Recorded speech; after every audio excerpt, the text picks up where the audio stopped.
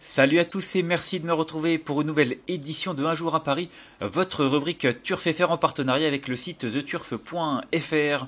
Alors ce lundi 5 septembre 2022, j'ai décidé d'aller avec les trotteurs en réunion 3 sur l'hippodrome de Graigne. Il y aura un quintet plus sur l'hippodrome de Cran, hein. avec les, trotteurs également une réunion euh, mixte. Hein. Il y aura euh, du trot et du galop.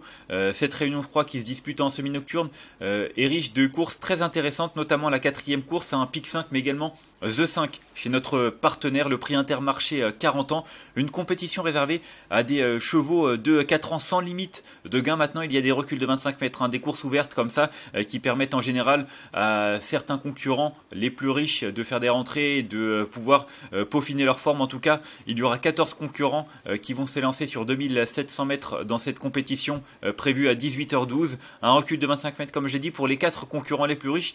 Et j'ai justement retenu un concurrent du second poteau. Euh, pour vous, ce sera un jeu simple, euh, le euh, pari du jour. C'est ce numéro 14 Invictus Decagel qui vient vraiment de très bien courir. C'était sur ce même parcours, vous allez le voir. voilà, du côté de Grain, c'était le 22 août dernier, hein, il y a deux semaines environ. Euh, très vite en bonne position, a échoué de peu pour le premier accessite et c'est vrai qu'il rend des 25 mètres.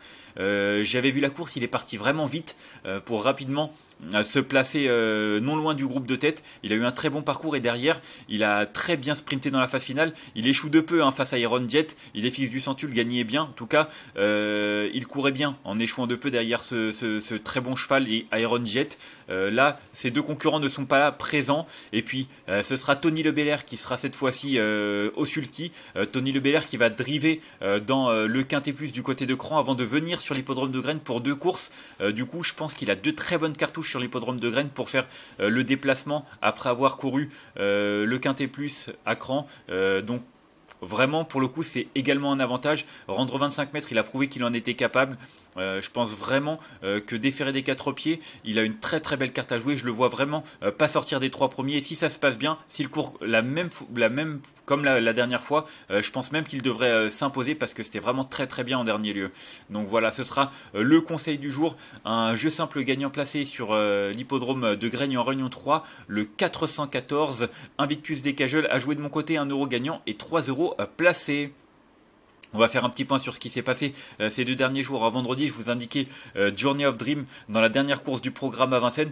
Euh, vraiment que de malheur. J'ai vraiment pas forcément apprécié comment Tony, Lebert, Gabriel Germini a, a drivé ce cheval. C'est vrai qu'il est parti. Déjà, le fait de partir au trot, c'était une bonne chose. Il a attendu. Ils étaient que 8 au départ, 8 ou 9.